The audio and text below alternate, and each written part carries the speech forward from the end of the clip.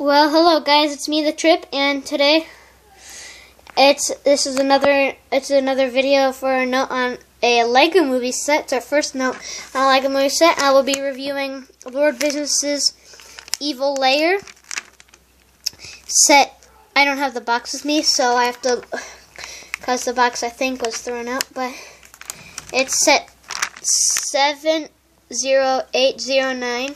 It's ages 8 to 14 and 738 pieces.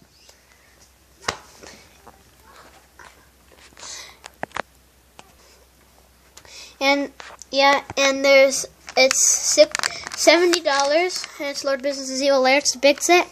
Comes as Vitruvius, Emmet, Podcott, Marcotte, El Macho Wrestler, Lord Business, President Business, and Business Kitty.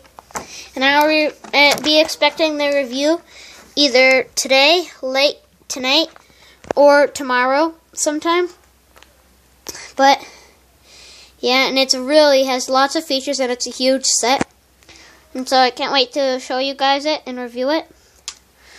And I actually do have it under me because I just got it set up for the review, but I actually had to do something. But just be expecting the review to be out late tonight or tomorrow. But I'll show you what the set looks like. Here are all the things that come in the set. It's a really, really big set. And yes, it does come with the best minifigure of the set, Lord Business.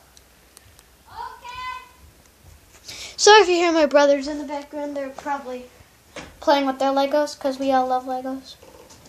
But anyway, so yeah, this is a note on Chima set. Be expecting a review of this. Bye.